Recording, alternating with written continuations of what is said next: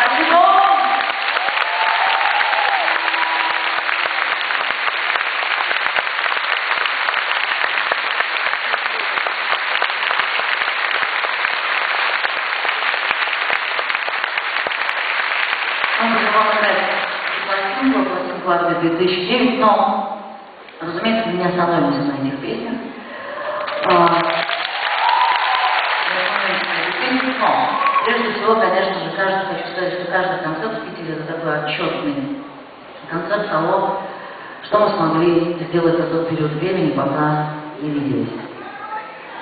Сейчас, сейчас возьму, пожалуйста. Думаете, прям сейчас? Сейчас не хватает? А, и следующая песня, которая называется «Виноград», она очень, она очень нетипична для нас, точнее, была одной из самых нетипичных. Господи, спасибо огромное. Вы плачете, что ли? Плачете, что ли? Чего тут? Понятно. Так вышли на сцену, человек заплакал. Да, вот так. Слушайте, ну мы его выпьем, не волнуйтесь, пожалуйста. Все. А, такая получилась аргентинско-чилийская пьеса.